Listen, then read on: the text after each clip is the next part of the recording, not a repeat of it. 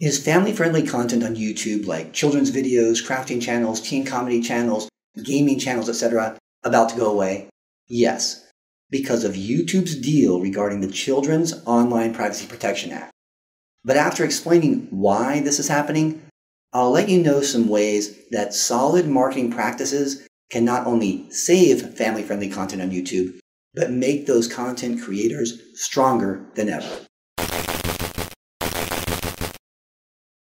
Now, I've spent much of my serious academic life researching not only online privacy, but online privacy for children. And I've honed my marketing skills, learning how to target the right audiences, drive traffic to the right content, build great products, and retain customers for service products that cost more money than most of the cars that people drive. So my expertise in both areas gives me a unique perspective on not only what's going on now with YouTube, but also how strategic marketing can solve the problem. Let's start with this problem.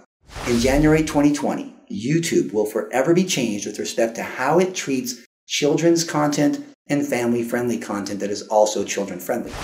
The U.S. Federal Trade Commission, the FTC, acts as a pseudo enforcer of a law called the Children's Online Privacy Protection Act, or COPPA.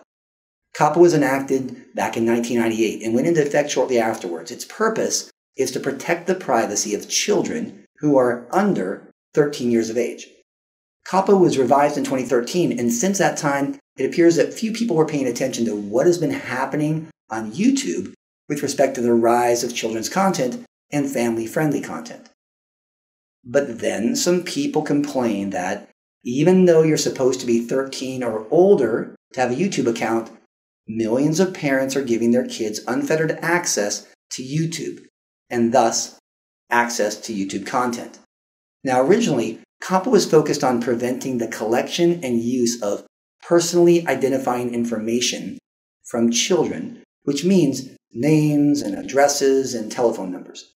But in 2013, in the revision, the government expanded COPPA's definition of personal information to include cookies, which help advertisers get the right ads to the right people. This means that if someone watched a kid's video on YouTube, that same person might be shown a kid oriented ad like something from Mattel or Hasbro or Fisher Price or Lego.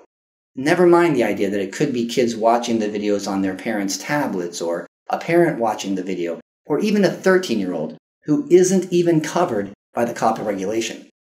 Now, YouTube didn't make this concern any less concerning because although it claimed that it did not have users under 13 on its platform, it also boasted to companies like Mattel and Hasbro that it was the leader in providing ads to children ages 6 to 11. Yeah, not such a good idea. As a result, in September 2019, YouTube settled a lawsuit with a promise to pay $170 million in penalties to the FTC and to the New York Attorney General's office.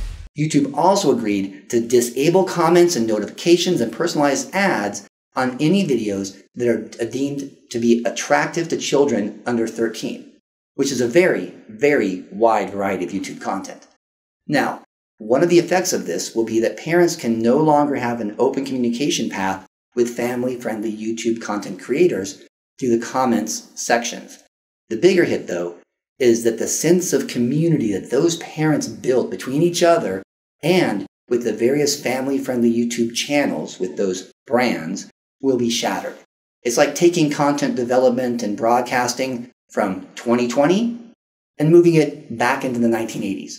Another huge consequence will be the massive reduction in YouTube ad revenues for all those content creators that focused on true kid friendly programming. What will this mean? Some channels will purposely move away from family friendly and children friendly content so that they won't lose their brand communities or their ad revenues. They'll add violence or profanity or mature themes and claim that their audience are, audiences are not kids, even though many kids have already become brand loyal to those channels. Other content creators will close down their operations and stop producing content because it won't be worthwhile from a financial perspective. Finally, others will continue to produce content, but won't have the same interactions with parents that they once had because of the inability to share comments. In essence, children friendly and family friendly content on YouTube will begin a sharp decline in both quantity and quality, at least from independent content creators. YouTube itself is prepared for this with its 2015 YouTube Kids app, which was launched as a web based option on August 30th, 2019, a few days before the settlement with the FTC. Coincidence?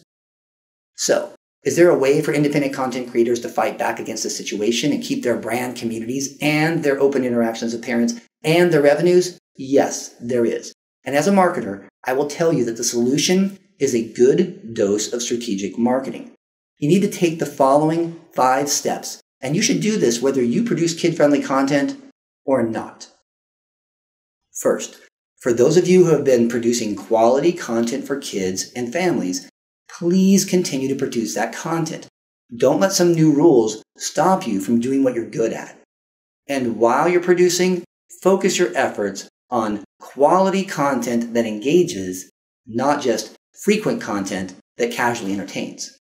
Second, drive traffic to owned platforms rather than to borrowed ones. In other words, you need to get people to visit your website. This is crucial because it's at your website that you'll interact with your audiences, build community, and generate revenue. Third, interact responsibly and within the guidelines of COPPA, meaning no interactions with anyone that falls within COPPA age brackets. On your website, embed your YouTube videos.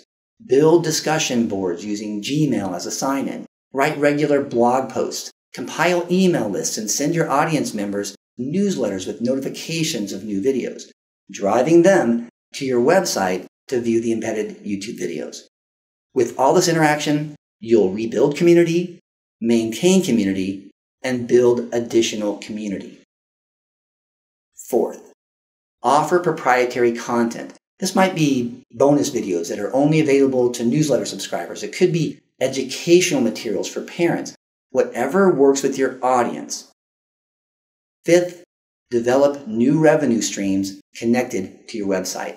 This could be through your new proprietary content, or you could use a platform like Patreon to solicit donations. Maybe you can sell merchandise or training. Be creative and give your audiences what they want. In truth, all content creators on YouTube, Facebook, and Instagram should have been doing this for the past five years in anticipation of potential changes in those platforms. But, well, better late than never. Finally, go back to YouTube and find a way to work with the COPPA regulations in an ethical way, of course. For every child oriented video that you produce and post, which you'll designate as such with YouTube, create a companion video that is parent focused and explains how parents can help their children consume your kid content in a responsible manner. These parent videos will serve several purposes. First, because they're not designated as attractive to children, they will have the comments and notifications and targeted advertising that you'll just have lost with the kid videos. Second, while they won't necessarily act as insurance to the FTC, they do show that you care about your various audiences and work to provide content in a responsible manner by working with parents. Taking a strategic marketing approach to the COPPA issue won't just remedy the situation, it will make content creators stronger because they'll be on the path toward creating strong audience communities that will be based on their own websites rather than on YouTube. It all goes to show that when your business experiences a, a challenging situation, a good dose of strategic marketing can go a long way toward not just resolving the situation, but making your business even stronger.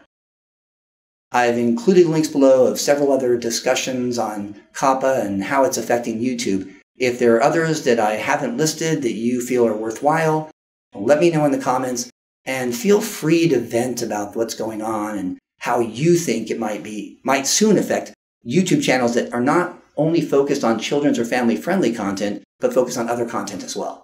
In the meantime, Subscribe for more videos on marketing, branding, social media, analytics, digital, and whatever else comes our way.